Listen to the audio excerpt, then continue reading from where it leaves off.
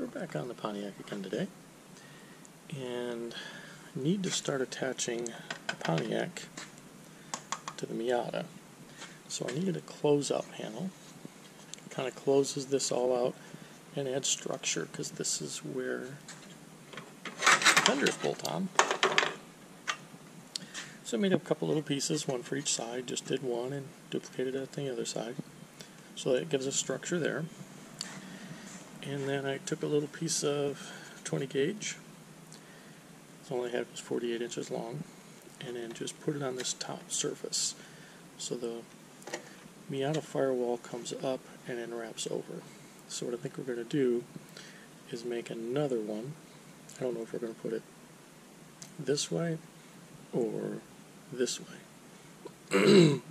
we'll cut a piece about 43 inches, put a lip at the top, and then we'll slide it in there and scribe this surface and then we'll just go ahead and tack weld that on for now. Just see how things work. So it took me a little piece of 20 gauge, about, I think it's two inches this way, and I just put a three quarter inch lip on it. I clamped it up in there, might not be able to see it, but I kind of scribed it to the other flat piece, this piece here. So I'm going to do does not quite go to the line, but be a little bit off the line so I can do some fine tuning. And we'll cut that out and keep test fitting it until we fit. And when it fits, I will show you then. Well, I got that all tacked together. Got to retack this end, missed him a little bit, but uh, yeah, that works. You can see on each end. It's thicker, narrows down in the middle, of course thicker on the sides. So it's about two inches here on each side. And the car is a little off, but we'll adjust that. When I put this in the car, like that, I'm within a tenth of a degree across the top. So we ought to be happy with that. So we'll trim this up a little bit on the edge and see what we do next. So I got the new piece clamped in place. Decided to run this on the outside so it sticks out a little bit because if we put the latch in there for the hood so it swings to the front we need as much room as possible. So you can see we're within a tenth, maybe, maybe not. There you go. We're within a tenth. Um, one thing I'm noticing is, is we're sitting down a little bit on this side. And where the tag is, we're sitting a little bit equal height on each side. So we'll research that next, but I think you can see it's actually sitting down a little bit. So I'll put something in there to space that up for a minute. And we'll see what to do next. So the next thing I'm working on is how to close this out from the panel we just put in. Support this, because this is of course where the fender bolts on. You can see the two bolts there. So you want some structure this way. So I built this little closeout with a nice little radius that happened to be the exact size of a tape roll. Close that in. Still can get to everything for the wiper unit. And then it can weld here. We can weld a closeout in here somehow. I don't know how to do that yet. Just mocking it up. And then from here up will be where the fender bolts on. So I have a plate just like this one over here. We'll have a plate that bolts on here. I'll make a vertical plate, cut it to fit the fender, and then put a top plate on so that you can bolt through. At least that's the concept. But uh, got this all fitted so we could just weld along the edge there, grind that in, and of course we'll put a top plate on here to, to close this all out once we figure out what we're doing. But uh, yeah, decent progress. Well, we got the passenger side all mocked up. Yeah, I'll fill in that hole there. And I got the top capped off. And both sides capped off. So we'll get it all done. We can weld it there on that joint. Weld it down here. It's tight to the bottom. Feather that in there.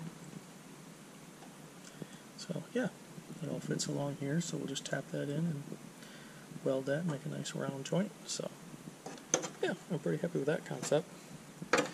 And then what I'll probably do is run this bottom plate up to here and I might cap this off, give me something to weld to, add some more strength in there. Haven't decided yet, so we're going to leave that open a little bit long and then we'll figure out what we're doing on this part.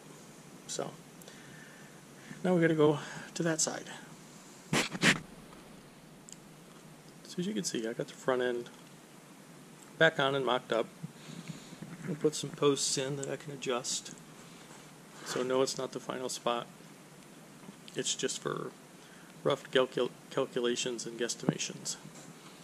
So what I've done is I got a one inch piece of 16 gauge wide, 30 some inches long. Yes, it overhangs. But that's butted up against that curved piece base. And then what I had done was made up these angle pieces with a two inch lip on them and those were going to go those are going to go in there. But I forgot this has got a really slight bend in it. You know it's got some concavity or convexity this way. So I went ahead cut that lip off and clamped it to the bottom side of the fender where the mounting holes are going to be. And I'm going to look the biggest thing is is the Miata or the Astre fenders you can see is this way, but the Miata kind of curves in like this. So I'm going to sit in the design chair for a while and figure out the best way to do this. Well, this is what I'm working on now.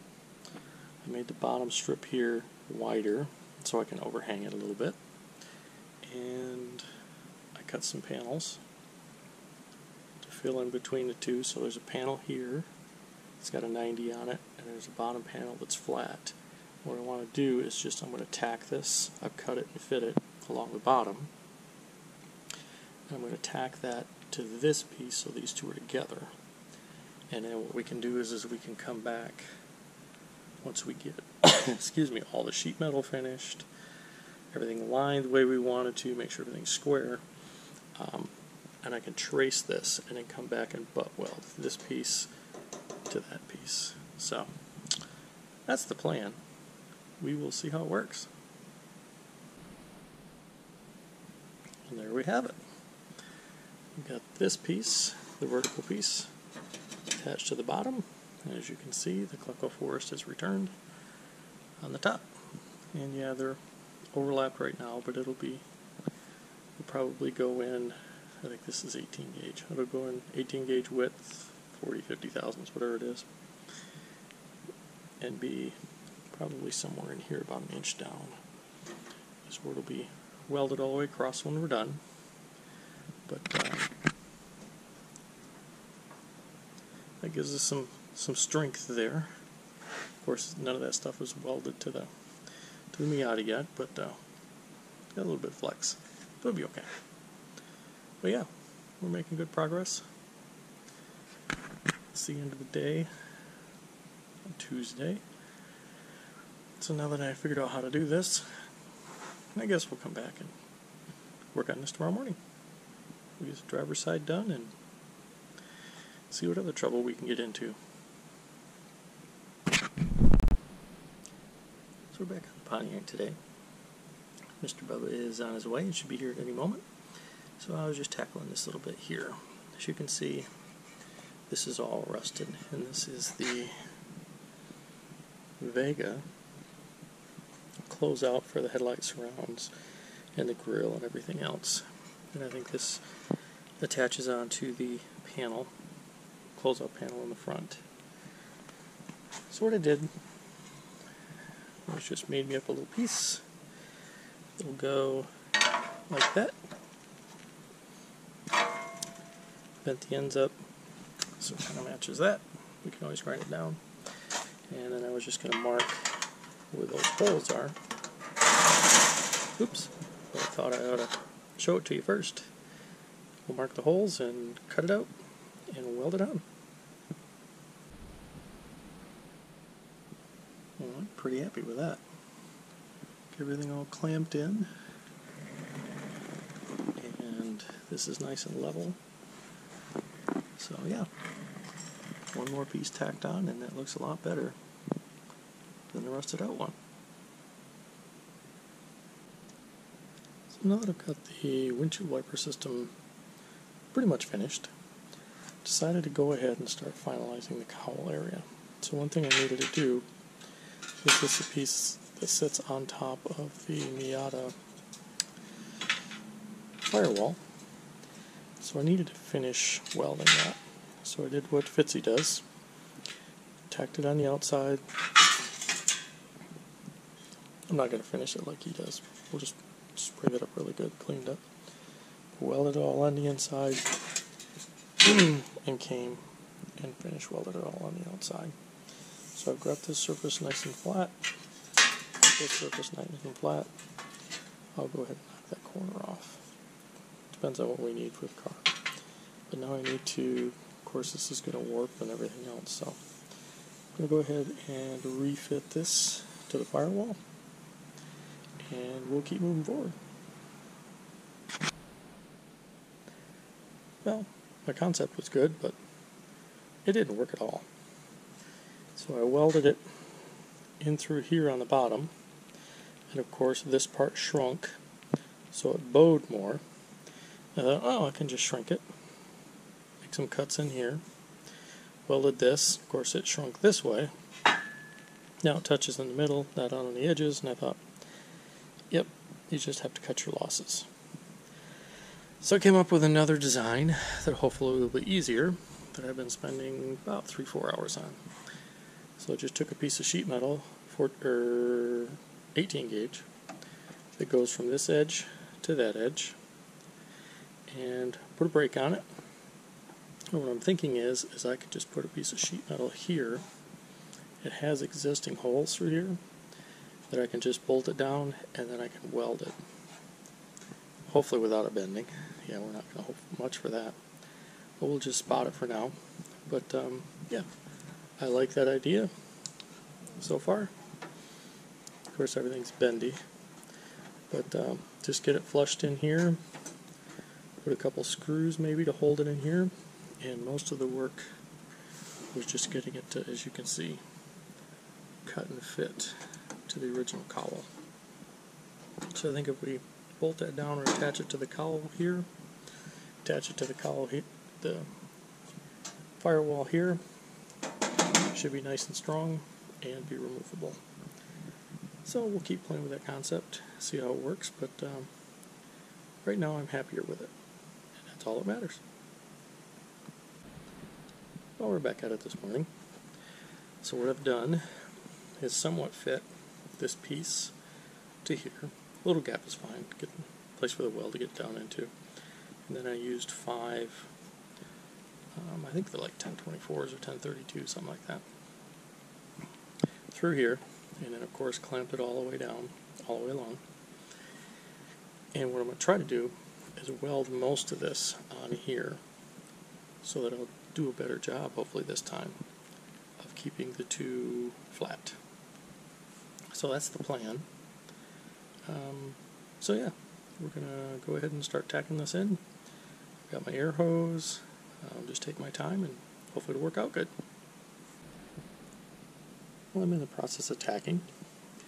So I did a quick tack all the way across and then I came back and put in um, about a quarter inch tack. And what I'm doing is I am hitting it with the air hose every time I make a weld. So I'm finding I can do about a quarter inch weld and then I come and just hit it with the air hose. So it's laying down really nicely. Give me something good to grind on. And um, before I grind it, I'll flip it over and, and weld it from the backside too, doing the same method. But um, yeah, only welded one screw in so far, so that's a win. Those will come out easy. So I'll continue my slow process of going across and we'll see how it looks. Well, that turned out quite well. Just took my time and like I said, did some quarter inch tacks all the way along. I think I've got two or three little blowholes. You can kind of see one there, which I can take care of on the bench. But uh, yeah, so now that's the bolt that I welded in, which we will take out. But otherwise, really happy with that. Everything stayed nice and straight and flat. So hopefully we won't have too much rework to do.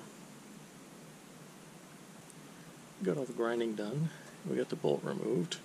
And then I clearanced so that I could get the bolt head in there. I'm just using some 1032 button heads, stainless steel. And yeah, everything fits good. It's a little bowed in the middle, but it's nice because you can just pull it down, put these two bolts in, pull it down. Everything lines up.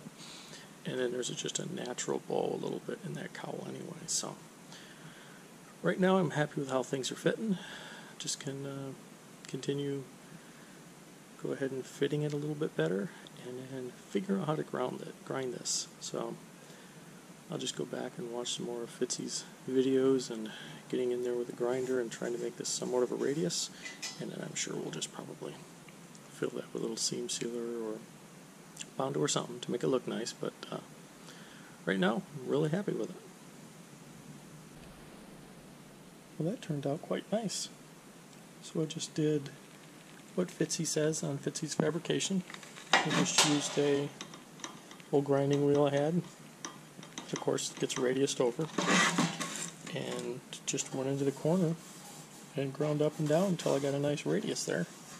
Now I'm not going to worry about all the little pits and stuff. This isn't outside of the car or structural or anything like that. Um, we'll just come back with a little body filler and, and fill that in and take some sandpaper and a dowel pin or something and get that nice. But yeah, that worked out really, really well. Highly recommend Fitzee's Fabrication on YouTube. Um, an, a, an older body man who has a lot of experience and uses minimal tools. So, yeah, happy with that. Let's go to the next thing. Well, I forgot to pick up my camera earlier. But what I've been working on is I wanted a nicer piece. I just made something out of sheet metal just as a concept, and it worked okay. But now that I have this piece up there, I wanted something that I can have a nice radius that blends into where the fender mounts. So I made this, I think it's 60 thousandths. Just kind of measured something up uh, and um, put a three, I think it's a three and a quarter inch radius on it kept playing around with this length and then um, made a top piece and just kind of bended it, bent it to conform with the body itself. So yeah, that all looks really good. And if you can see it, but I did all my welding on the inside all the way around. And that way I think we can just come back with a thin layer of Bondo just to hide that seam. And then you don't have to worry about holes and stuff at the top. So yeah pretty happy with that one. And now on the driver's side, you can see on the passenger side, that one comes right to this rail edge. But on the drive or this side, we have the body identification plate. So basically tells you know when it was made and all the options and colors and all that stuff. So this I think I can move so I think what I'm going to do is pop these rivets out and that'll allow me to make that one and this one match up the same. we're back at it again this morning. So yesterday I made that corner piece and did some tidying up around here just to get everything kind of finalized a little bit more, mainly this piece.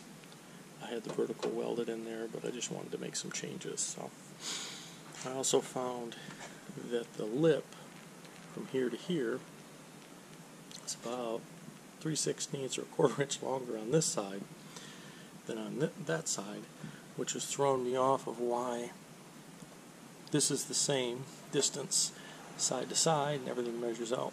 But I couldn't figure out why that was hidden, and that's because this lip's wider. So we're going to grind some of that off anyway. there's things on here you don't need and just make it a little bit more tidy. So what we're going to do today is start focusing on the radiator. So I put the block back in. I haven't received my water pump yet. Water pump and harmonic balancer should be coming pretty soon. Um, because of the short space, we're going to be using the Corvette um, front accessories on this. And I have my radiator now from Speedway.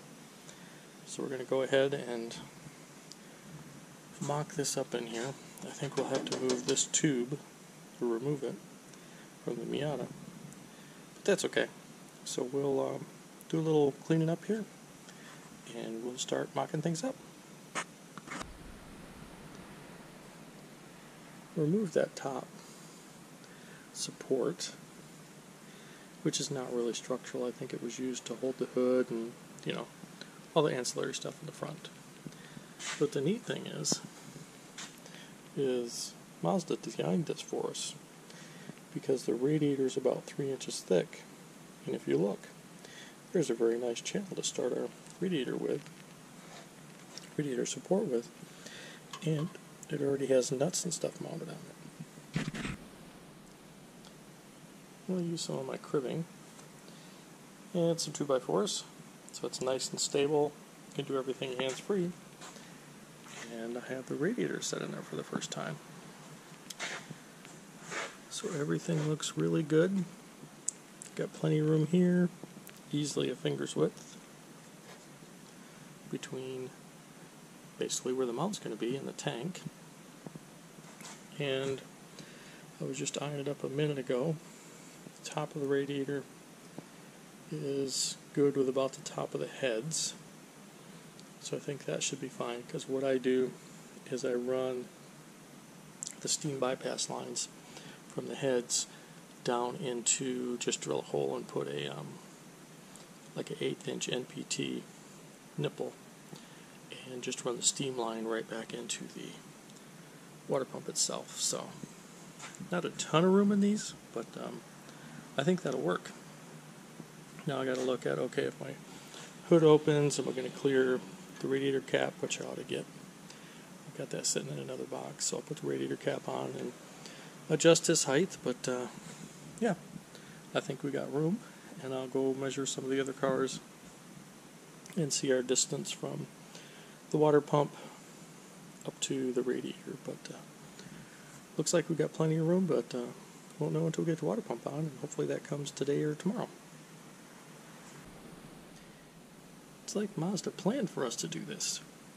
So I removed this bracket that was on there that I was using to hold the radiator. And we knew those are the two holes that are threaded.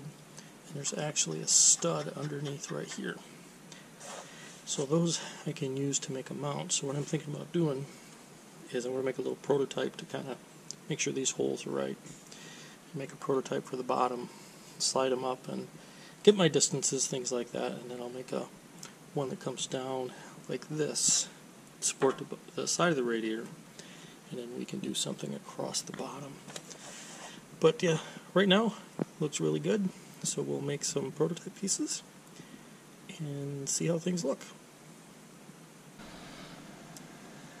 So underneath the driver's side front frame rail, so this is where the radiator is going to go. So what I did, I made some prototypes out of 16 gauge on the plasma cutter so that I could get my hole locations right and the distances from front to back and things like that. So now I've made the final prototype out of 16 gauge. So hold on to yourself. So it mounts to those two holes on the frame rail itself this is going to need a little spacer here. We'll figure that, I'll that out later. This is mounted solid, and that plate underneath is mounted solid. And this is the bottom of the radiator support that goes across. So we've got it three and three quarters wide. The radiator is about three and three eighths at the welds, so that gets some room to put some rubber top and bottom and everything else and it'll it'll sit off because it's only 26 inches wide and this is um, probably got about an inch of clearance on each side. So yeah I'm happy with that. It clears everything. I think once we make it in uh, eighth inch I always use uh, you know some scrap. This is just drops from uh, a previous project so it doesn't cost me anything and I've also got lots of areas I can reuse and recut these for more prototypes but uh, yeah, I'm happy with that. So now what I'm going to do is put all these dimensions into the computer um, to get all everything lined up where it's supposed to be and I'll continue with my model and um, start making a prototype out of this in um, eighth inch. Well, there we have the first trial fit and everything looks really good. Holes line up, which I knew they did because of the prototype and I checked to make sure it was square back here so it's like 91 or 89 degrees. Can't be 91 degrees. Um, so next thing I'm going to do is do the piece for the frame mount that comes into this and then uh, we will go from there. Well, I kept testing pieces and trying pieces and making modifications and I think I've got it so this is everything tacked together. It's even got the bottom plate in it, all the way up to the sides. And it has the frame braces that go across up underneath the frame and the two diagonal gussets on each side. And everything fits. So I think what I'm going to do now is I've got to make the pieces that fit in here. So it's just like a one inch lip that sticks up to keep the radiator from going front to back. Probably doesn't need it. And then I also realized once I get this all welded up, I'm going to have to cut a lot of this out, but I'll do it after it's welded together so that you can actually get the radiator in here with the, um, I think it's the inlet, the lower radiator hose, so you can get it on. But anyway, yep, we're happy with that, and we're moving forward. I think that'll work. So I put on these places here, kind of ties the bottom into the sides, so the radiator can't go forward and backwards, which can't go anyway because we've got, you know, those on the sides there. But uh, yeah, it's all in. It's supporting itself. I've got the, I think it's 11 inches, so it's like 11 or 13. So it's like, I'll have to recheck it, but it's like 7 inches or 8 inches to the, from the block to the nose of the water pump. And then I've got another 3 inches here. So I should have good clearance and I can move it back and forth about 3 quarters to an inch. So I put left plenty of room in there so we can put um, you know adhesive backed rubber or foam, whatever we choose, to use. And then I clearanced here so that the lower neck slides right in. So yeah, pretty good day and a half worth of work. So this is kind of where I am at the moment. What I usually do is when I finish up something major, kind of clean up the shop, put up the, the tools. So I'm kind of at a point where I want to hang on a minute. I got some more pieces parts coming. I've got the lower valence coming. The AC condenser is coming. The dampener, which won't matter for this, but the water pump is coming. And I might make a run to one of the pick apart places and look for a radiator fan and shroud. So I don't want to get too far ahead usually because then you end up doing extra work because something fits different or anything else. But I'm really happy right now how everything is fitting. So what I'll probably do um, after I make the or put this video together, just do some cleaning up, paint some things, just to protect it because you can always see, surface rust starting. It's it's June here in North Carolina and we're going to get some resurfaced rust. So time to stop that in the bud, but yeah, I'm, I'm pretty happy where we're at right now. So I am going to put this video together Um, it doesn't have a ton of finished stuff, but it kind of shows you the progress. So until the next one.